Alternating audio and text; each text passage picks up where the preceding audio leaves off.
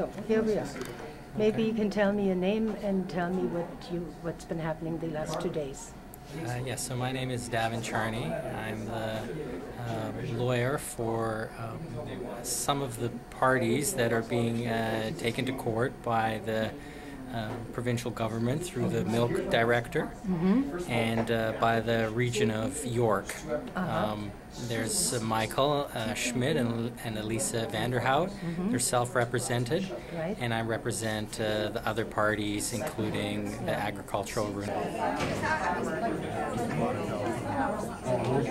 Okay. Okay, and uh, what we tried to do in the last uh, couple of days is um, the, and it's really a was a procedural uh, st- step.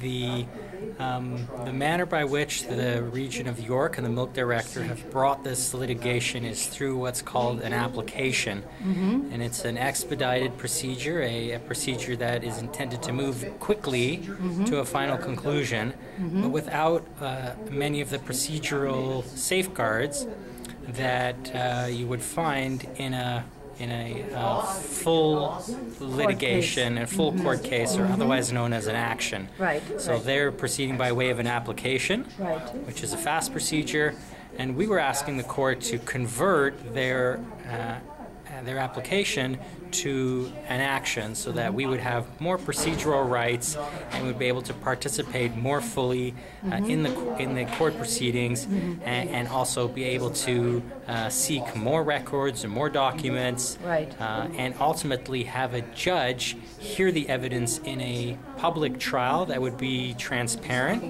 where the media could uh, come and see what's taking place, Right. and where members of the public and other interested parties could hear directly from the witnesses. Right. In the current procedure, the application, uh, the witnesses will testify in private, and when we go to the final hearing, we'll introduce their evidence through transcripts. So they won't have to face the public. And one of the the uh, arguments I made is that that is unfair. That's not in the public interest. No. What we wanted, uh, and just one example, is that uh, Glenn Jarvie, who is the lead investigator against um, against the uh, ARC and, and Michael Schmidt and Lisa van der Hout. Uh, he, this is a former Hamilton police officer who is employed um, by uh, the provincial government, conducted a many months long investigation that included uh, covert surveillance, uh, secret photographing, videotaping of people, including uh, people at Glencolton Farms. He secretly With followed those cameras, you mean with those cameras that were hidden in the ditch? that included uh, putting uh, cameras uh, secretly uh, outside of the farm to uh, f- um, photograph traffic. It included secret uh, surveillance and following of vehicles that uh, were believed to be carrying milk to various locations. It included running the license plates of uh, milk uh, consumers to identify them. So there was a whole covert secret operation to um, surveil the Glencolton farms uh, which ultimately resulted in the raid on the farm uh, last October. Yes, of course. I filmed that too. Right. So what we wanted is for that person, rather than have that person testify uh, privately, we wanted that person to be testi- testifying On a stand. in court for everybody to see Yeah. the full scope of the investigation. Yeah. So the procedure that we were trying to get uh, would have much more transparency, which Yeah. we argued was in the public interest. Yeah.